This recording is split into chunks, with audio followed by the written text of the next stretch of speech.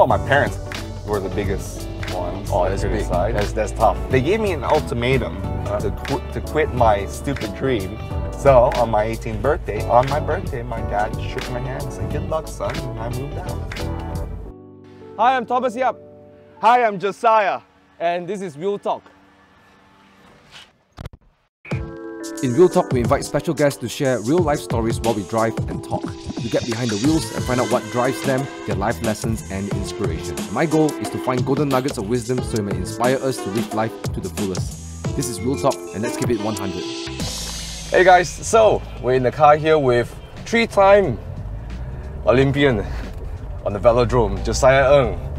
Alright, and uh, so the reason I picked this car, Josiah, is because we had some good memories in this car, didn't we? when he's on his way, I said, "Oh, we're taking the E30. Shoot, I'm wearing my sandals. let me let me go get my shoes just in case I need to push again." well, just just so you know, this uh, for those who haven't seen my channel, I restored this car over the lockdown period, and uh, throughout the lockdown period, it's my daily, Yeah. and uh, there were times that my car couldn't start, and now I'll ring Josiah and say, hey, I need help. Because we're neighbors, Yeah. and, you know, and, and during lockdown period, okay, I, I can go downstairs, right? and then we push my car five floors down. I push, you steer. Anyways, thanks for agreeing to come on the Wheel Talk. Uh, this is a series where I interview people, we talk about life, we talk about life lessons, and you being a three time Olympian, I'm sure there's a lot we can learn from you. So, you're three time Olympian, you're world champion, uh, you competed at national, um, international level in uh, cycling, uh, the velodrome, right? So, for those who don't know what velodrome is, it's a, it's a little ring, uh, the best way to describe, right? It's But a you go- wooden track. It's a wooden banked track where all we do is go fast and turn left. And what, what protection do you have? because you're going like 60 kilometers an hour, right? Uh, the fastest I've ever gone uh, is a little bit over 80 kilometers an hour. Oh man. That's when I hit the deck. That's when I crashed and uh, and and punctured my lung uh, in Mexico. Normally we only hit top speed of like 72, 73, maybe 74 or 5. Uh-huh. Um, but we were hit 80 because we were at at uh, high altitude. Oh, so the wind is, is less so that dense. the air is uh, the air is very thin. All right. So we were going about 10 kilometers an hour faster. People weren't used to that. Yeah. So things are different at 10k faster on the bike. We the, the reaction times are a little different. So there's a whole bunch of crashes that day. Um, and then my, when my race came out, I'm like, oh shoot, guys, okay, let's keep it safe. And the Yeah. next thing you knew it, I'm in the hospital. Now what happened? So you you, Yeah. you you just you just crash and then Now someone crashed into me. oh sounds like you guys are mad, right? You're driving uh, right you're riding at 70, 60, 80 Yeah. and and you have no thoughts of slowing down. You just go and go and go. Like We don't have brakes. yeah. There's only one gear, Uh-huh. and it's a fixed gear. That means you cannot coast. So you just pedal. So you just pedal. So it's like when you, you ride a tricycle when you're little, Yeah. right? It's a fixed fixed So- wheel. So the only way to stop is just like stop pedaling. So you gotta commit hundred percent into It's into, commit. Yeah. Yeah. So it, the track cycling, which is what they call it, Uh-huh. it really helped us to commit. And then did you quit after you you got in an accident or did you did you continue racing? No, I continued. There's a big thing, right? You know, Yeah. getting hospital, almost losing your life, and then getting back on the bike. So how how'd you do it? uh, I, I do motivational talks. Yeah. I've done for like Facebook, uh, Microsoft. So the number one thing I say is like, if you're passionate, so passion is the, the thing that kept me going because I was truly passionate about my craft, Uh-huh. about what I was doing.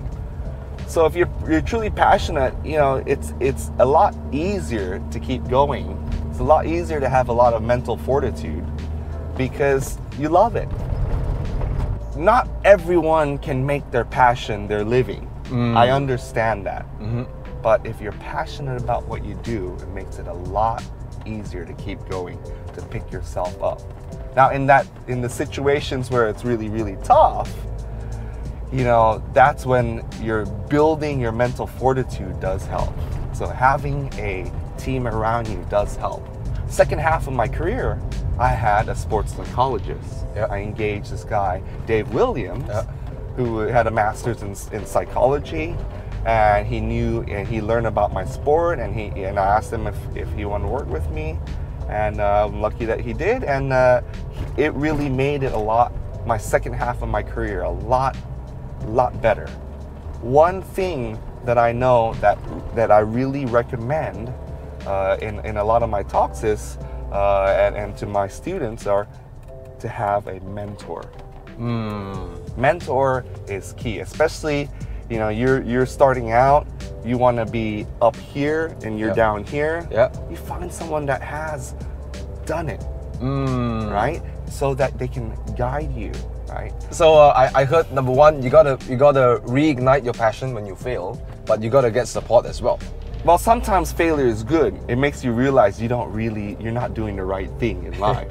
That's when the mentor comes in handy as well. Ah, Right. And so then, then able to help you distinguish and learn from failures, right? So, you know, like, it's okay to quit sometimes because not everyone gets it right the first time. yeah, you know, it's I, I- just wanna take this opportunity to talk to some people right here because you some people have been watching this video and maybe you know somebody who's given up. They've like they've thrown in the towel and they don't want to try again. At what what would be your one advice right now to this this person watching this video, like this guy who has given up? Reach out to someone uh, you can trust. Mm-hmm. Uh, reach out to someone you you think has the wisdom. Mm-hmm. Uh, and even if it's a stranger too, you can.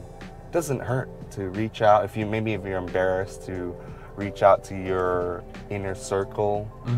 Uh, reach out to someone that doesn't care about you know, or that didn't care about where you head. So that can give you um, perspective, different perspective, so that you can you, you can you can think a little bit bit clearer. You can have a little bit more clarity. I think a lot of people when they when they're given up, they, they lock in that perspective. Like it's why I do these videos because I think I mean I think of the times in my life where I was stuck. It's because I kept a perspective, and then when you have someone else come in and say, "Well, did you see it from this angle?" and suddenly like, "Whoa, okay," Yeah. you know, it, it- then then things open up. But anyways, I, I do want to ask a question like uh, uh, about um, you decide. This is something I've been curious, right? Yeah. and I think probably some of the audience, uh, perhaps they they're still looking for what to do in life. They're dabbling in stuff, and Yeah. what should I do? You know, how would you advise somebody who's like following the flow of life, but not really enjoying it? You know, and but they want to break out. You know, so what what made you say, this is what I want to do? You know, and Well, it's I don't know if that there was that moment where I said, okay, this is what I want to do. It's just I enjoyed it so much. I really loved it. It was my passion. It was my I just knew I wanted to take it as far as I could. oh, So I never really cared about money. career. I cared about my money, but I never cared about career or anything. Yeah. I just knew I wanted to do it. And you know, when I was young, my my grandma, who's who's still alive, who, you know, uh, she- I think she's like 96 by now. Wow. She gave me the the single most important piece of advice that I've lived by. She says, Saya, find your passion and just figure a way how to make a living out of it. So she was a lifelong music teacher. Uh-huh. And that's what she did. You know, she practiced what she preached. And so I thought, okay, bicycle. I love my, I love racing. I love riding. And uh, to this day, till I'm 42 years old, I just figured out how to make a living out of it. Mm, So you know, be, be- before it was racing, and now it's it's coaching. yeah. It's being a teacher. we live in this world where I, I, I think right now in Malaysia, right, and, and also a lot of countries that are getting modern, people measure their worth by money most of the time. Which, well, I, I get it. Money has a place in giving us a good quality life, giving us. Because you can measure it. Yeah, you can measure it, but People want to flex. but but the, the thing is, it seems that a lot of people figure out like what to do to earn money first before figuring out, uh, before and then not sticking to their passion. Yeah. Look, because you will be successful if you fi- if you're doing something that's your passion. Yeah. Because you'll be obsessed with it. Yep. So when you're obsessed with it, you put in more work into it. It's just shifting that into okay, how do I monetize it? Yes. Because we all have to cari makan, we all Yes, have to put food on the table and a roof over our head. oh, same like this. I gotta find a cari makan with this too, right? Yeah, so Yeah. this is this is your passion. This is your Yeah. true passion. Yeah. You love making love cars. content. Yeah. You love it, you know, doing something with cars, and you realize as I see your your journey, you realize that making a living or making money out of cars is a lot harder. so then you can you, you kind of mix and match. You do a little roja roja. You say, okay, all right. So now we can do something for a bigger audience, but still involve cars. cars, yeah. Right? You're figuring out how to link the the, the, the, the things that really uh, monetize. right? Uh, it's this this is the pathway that's the it, this is the fun part, the technical part. yeah, but but if you don't love it, if you don't find joy in doing it, you'll never see it through, right? Well, because it's so hard. Yeah. And you spend so much time and then you you think, okay, you link time to money. yeah. We so so you guys mostly, Yeah. not all of you, Yeah. you link time to money, Yeah. which is which is terrible thing to do. we don't link time to money, so we're we're willing to put in the 80, 100, 200 hours without getting paid Yeah. to make the breakthrough, and then the breakthrough will be huge. Yeah. And that's a little bit like what you used to do Yeah. with, or what you you, can- you still can do involve it, with yeah. with with uh, network marketing. Yeah. it's quite hard to make that big breakthrough. And but the ones that do are the ones that put in that hundreds of hours, getting paid very little or Mm-hmm. having to invest even, and then pow, the big money comes, the big Yeah. breakthrough. So when you started cycling, did you get a lot of criticism, and how do you deal with it? Like, Oh, my parents were the biggest ones. oh, that's big. That's that's tough. they gave me an ultimatum Uh. to qu- to quit my stupid dream, or or fail not under their roof, Uh. because they they assume I would fail Uh, and say that well we don't want you to be a, a failure under because I guess they, they care about you know what their friends think right Uh-huh, so uh-huh. So on my 18th birthday on my birthday my dad shook my hand and said good luck son and I moved out. wow. Did, I, I was technically homeless. I was cou- couch surfing. couch surfing. And luckily, I had a few good friends that let me stay with them to complete my high school degree, Uh-huh. which is important to complete our schooling. Yeah. And then after that, it was like six months. Then I moved to the beach, to my my other friend's couch. I actually had a spare room, and I lived with him for like two years rent free. Wow. You know, the people that help you along your way, don't ever forget them. So I, I paid his way to come see me, watch me at the Olympics, my first Wow, Olympic Games. wow. That was his first time ever traveling outside of the United States. If you reach out, because I was decent, pretty good at that, you know, I had a black book uh, of, of people to call. All my rivals had parents to help them to get to races. I didn't, because my parents didn't support it. Uh, so I would tumpang. I, you know, I made sure, you know, all of them knew my situation and uh, they're really cool. And I would say, hey, I, I got, I got. Are you going to this race? you going to this race this weekend? And uh, until I found a ride. So determined, I was quite determined to uh, live out my passion. You know, if it's anything I'm learning is that you you know when you love something, you gotta you gotta commit all in and take the risk, right? Yeah. Some people don't even some people think about the risk and that's it. That's the end of it. They think about their dream, they think of the risk, and that's the end of it. Yeah. Right. But you you you went you went all in. So that's that's that's inspiring. Yeah. Yeah, I, I think I think it starts from mindset because to me, I think it's I, I think they're taking a risk. I'm not taking a risk because I if I fail, I don't waste my time because I'm doing my passion. If they Hmm. fail, they waste their time because it's, they, they hate what they're doing. So it's like they, I think it's a bigger risk to go into something you don't love. For example, if you're going and working in the corporate, slaving away 40, 50 hours, or let's just say, let's just say investment banking, you hate it. You're wasting 70, 80 hours a week of your life. Sure, you might get to be, you know, you know, you're compensated for that. Um, but you wasting the one thing that we cannot buy, no matter how rich you are, how wealthy you are, is time. Yes. Time is the most valuable asset that we have on this planet. Yeah. So I think that mindset is the most important to start with. If we take anything away from watching this 20 minute video, the mindset, hopefully you, you can. Oh, you you gave tweak. us so much. Yeah. Thanks, man. Appreciate it. Yeah. Thanks. I got. I think we, we got a lot of uh, talking done. Uh, great interview. But I do want to ask uh, one last thing for, for just for the audience. What's the three things they can do today, right? Right now, Yeah. right now, as they're listening, to make the dreams happen. Like right now. I'd say make a list of potential mentors that Mm-hmm. can help you, that can guide you Mm-hmm. and give you perspective.